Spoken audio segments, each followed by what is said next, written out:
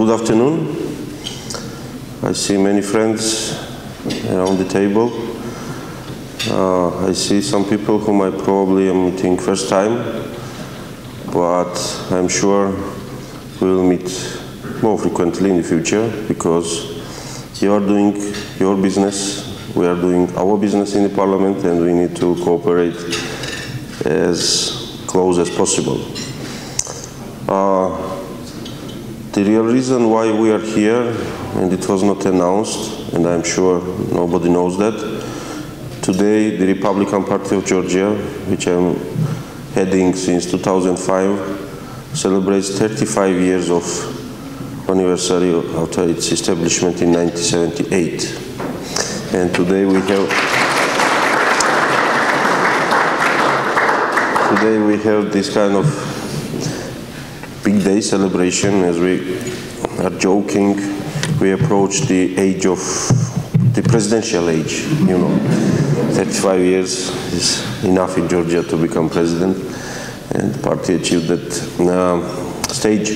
Well i went to the uh, history after listening the biography and uh, i'm feeling that i'm no more a young lawyer which used to speak uh, at number of times with uh, AmCham events. Uh, last time, yeah, it was a long time ago. Then I was talking uh, uh, as a representative of the opposition and I was complaining about many things and so on. I'll try not to complain anymore and to talk about the things what we are doing. However, there are things which we probably all are still looking forward to improve. The labor code being one of them, and uh, I want to thank you everybody uh, who uh, participate in this process uh, and the representatives uh, of AmCham. We are very active and very productive in these discussions. We received written uh, comments and proposals on a number of issues and participation in the process was very important as well. Unfortunately, we failed to pass that law a week ago, though. Uh, but uh, we will come back to that uh, in the next week. Uh, the next week is plenary session week for us, and uh, I'm sure we will do it after second attempt. The problem was that many members of the parliament were traveling in different countries during the last week and we received only 74 votes and we needed 76. Uh, but I believe till the end of this month this, this code will be adopted and uh, this, this uh, experience which we gained, we now I mean the new parliament and people who are uh, uh, in charge of uh, organizing the work in the parliament, we received a very good uh, lesson while working on this very important law. And it uh, reflects to one of the subjects of our meeting how to cooperate or how to ensure that the parliament and the business community are in close touch and uh, are doing right things and they are not doing wrong things because there have been uh, cases when uh, uh, decisions were made not after such open and lengthy considerations, but rather behind the closed door, lobbying interests of one of the groups or businesses and so on. That's what we want to end. And the new government, uh, the Prime Minister, is really serious about that to change the uh, system or structure of interaction between the government and business community. I know all the governments are promising that at the beginning. I remember very well the promises of uh, Rose Revolution back in 2003. I myself was involved in those events quite actively and I remember that was one of the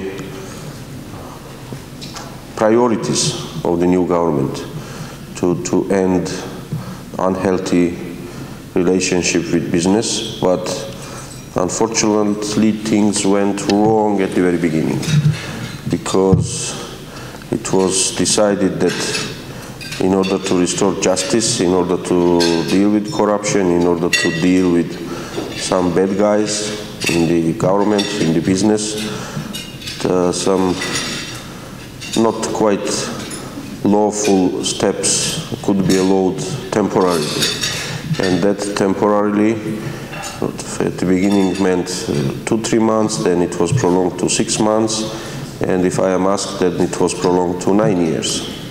Therefore, uh, together with some general understanding of uh, things, how country should be governed, we have very uh, good lesson from our recent history, and uh, our desire is not to repeat that.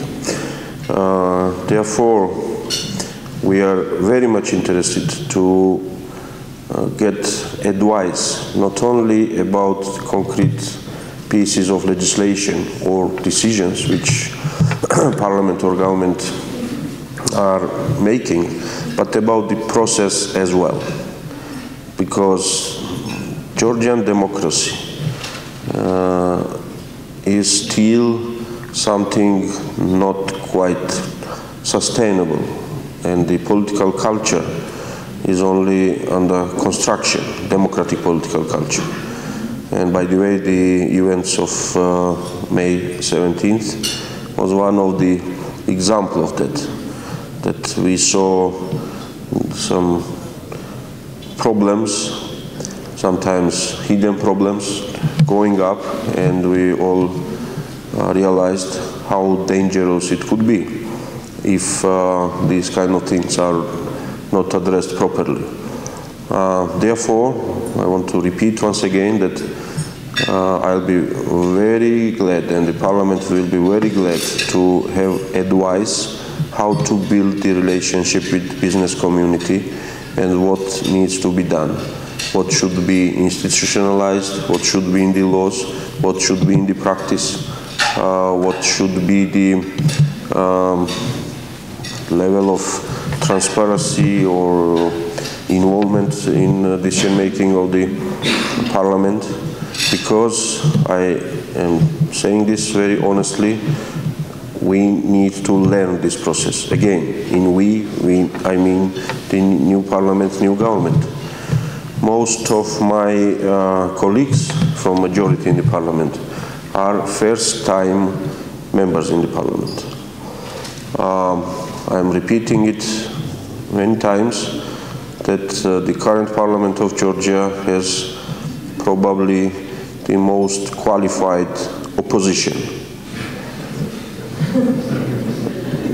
And if we look back and analyze different parliaments, that's true. We have about one third of the members of the parliament uh, and about two thirds out of that one third are very active parliamentarians now and they bring a lot of experience from their past work.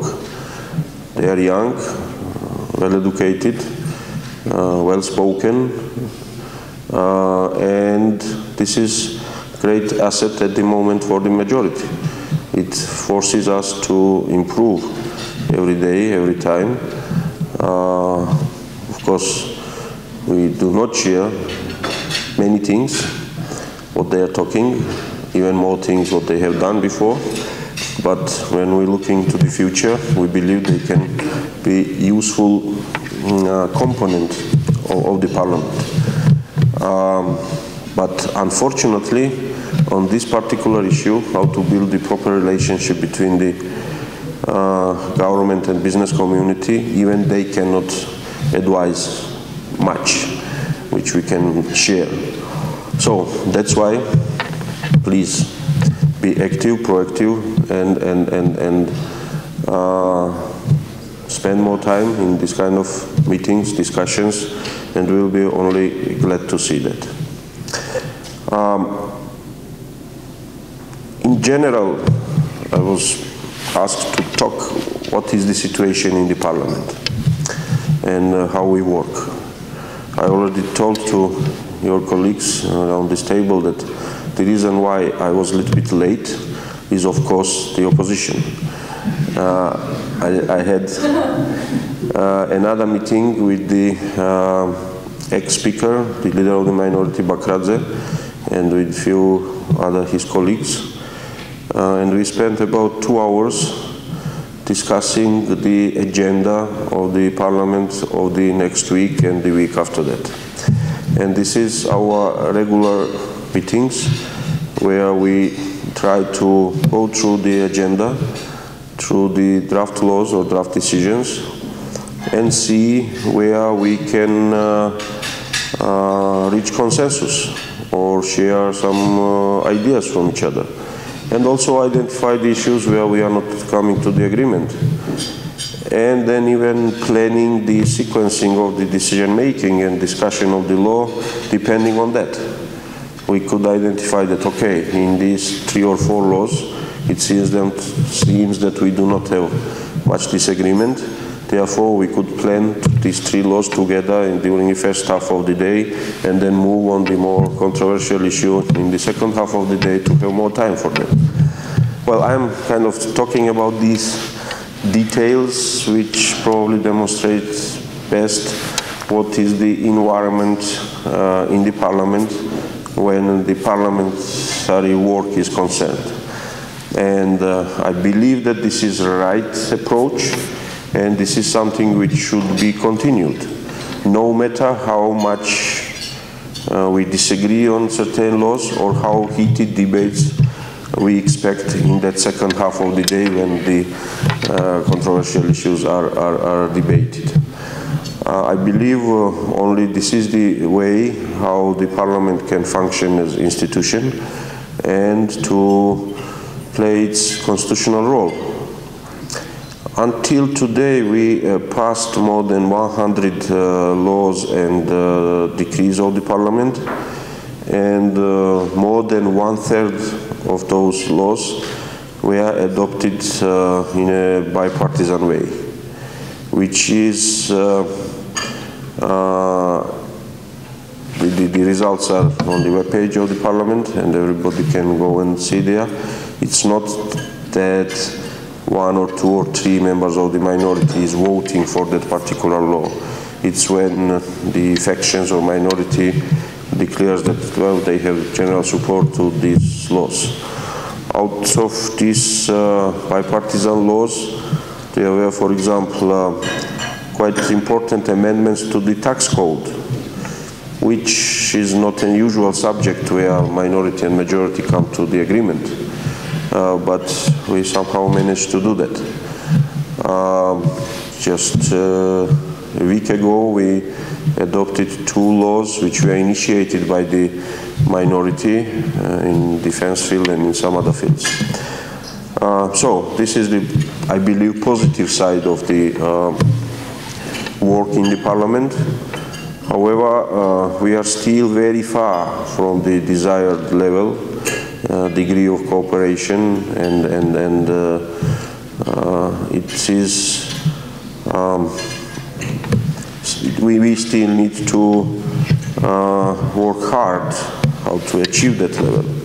However, I can report that the major problem which I, I, I was witnessing from my chair uh, is over. And that major problem was that people on the left side from my chair, the majority, we are acting, behaving, talking as opposition for two, three months. And the same was on the right hand of, my chair.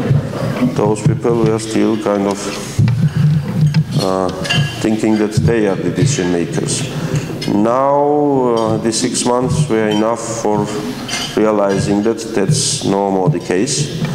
Uh, and uh, it uh, gave some self-confidence to both sides in their position, which makes my life easier. Because during first three, four months, every single comment from the minority side would get 6, 10, 15 very angry comments from the majority. And it took time until we all, majority, realized that, well, this is the worst thing we can do. We are eating up our own time.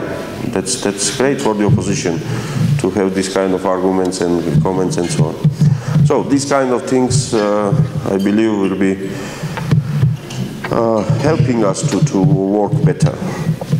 The parliament as institution, though, uh, has huge problem because of its current location.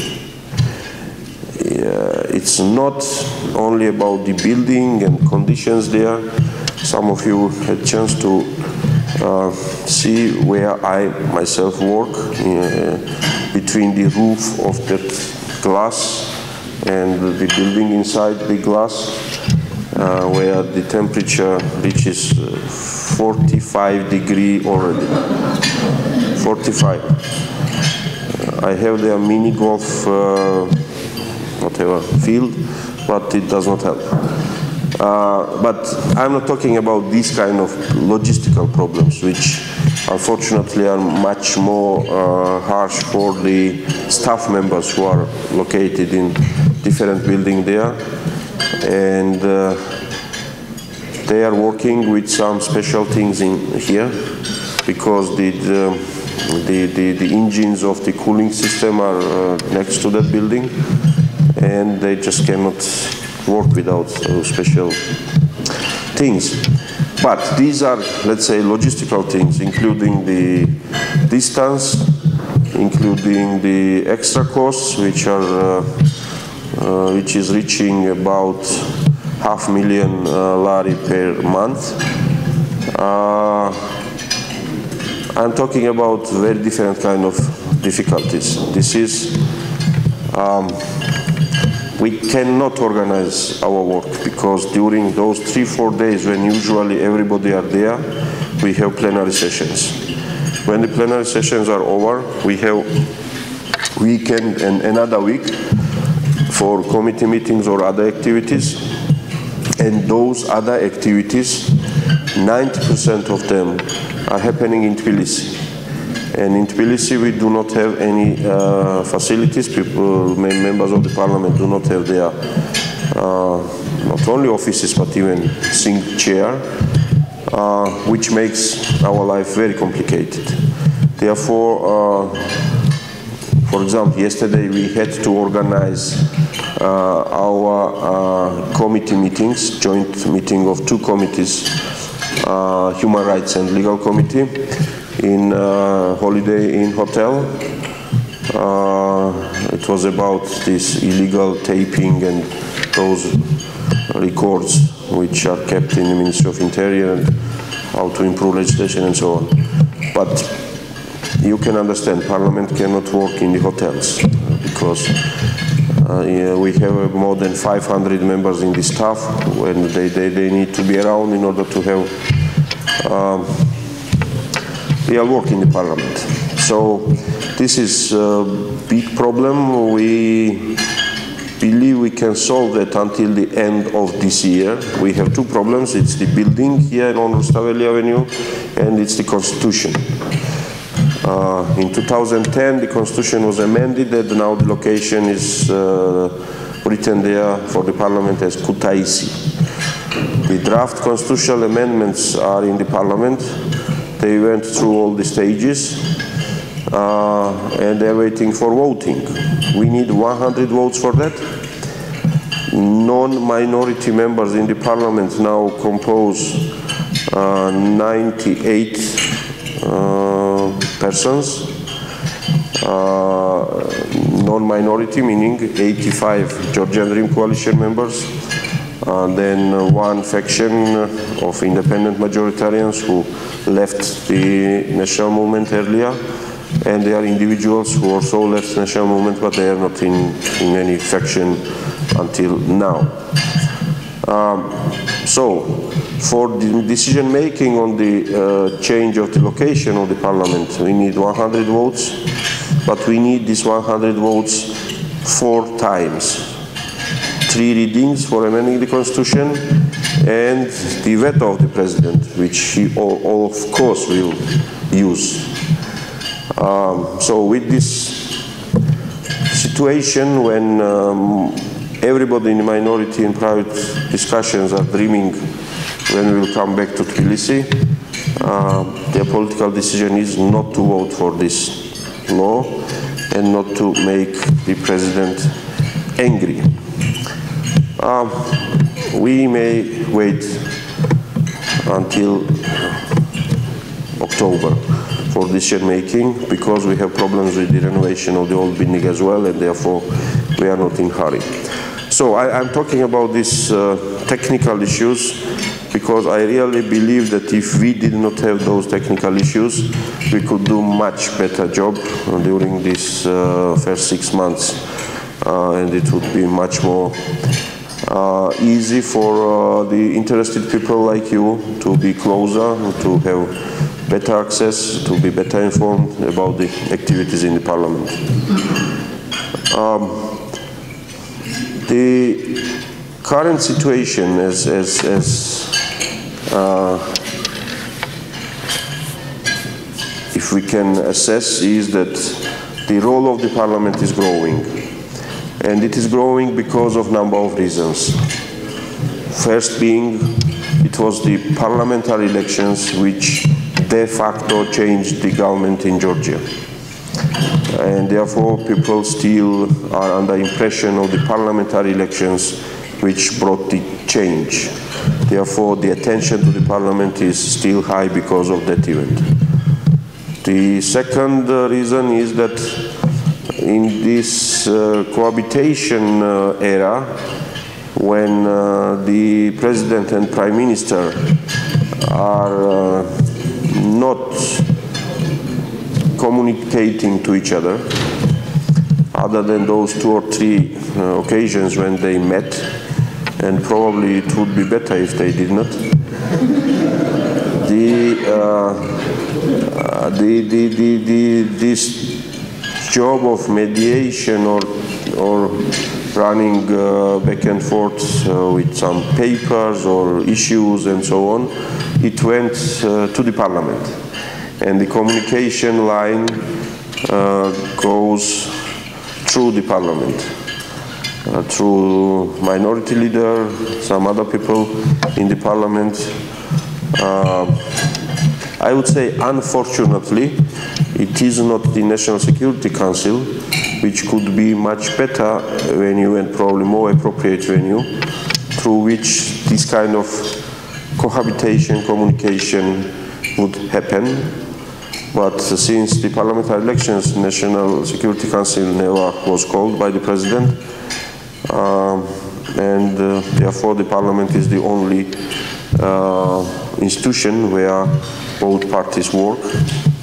And uh, it takes a lot of time, my personal time as well, but at the same time uh, increase the um, importance or the role of the parliament in this current situation. Uh, at the same time, since after October presidential elections and the day of the elections we don't know yet, uh, today I uh, once again uh, requested from the minority leader to ask once again to the president to nominate or to, to announce the day of the presidential elections, which must be sometimes in October, which would be good for everybody, probably even for business community to, to plan something.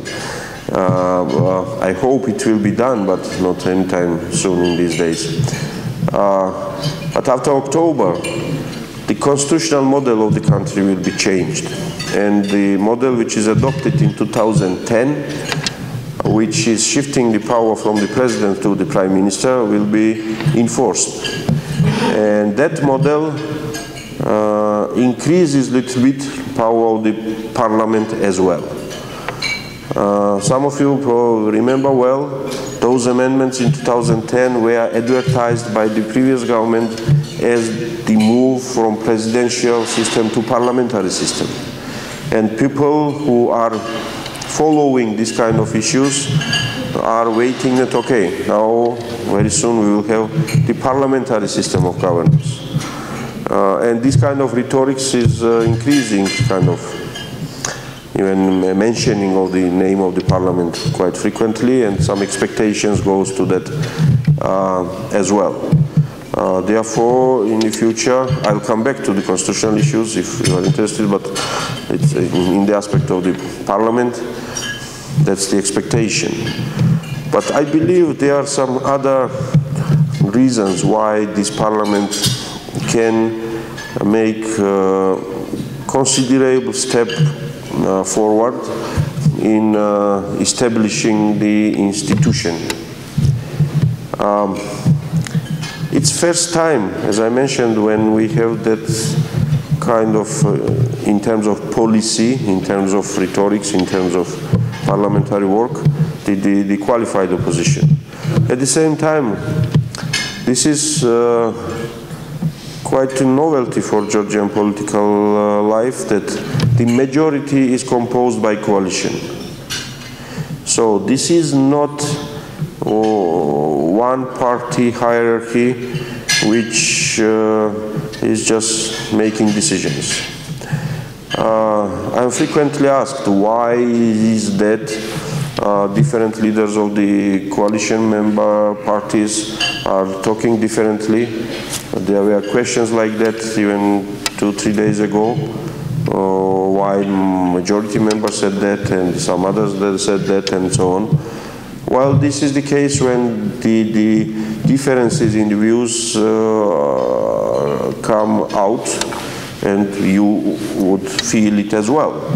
But I want to tell you that uh, it's the same when we are working in the closed door situation, meaning reaching decision within the majority takes efforts as well.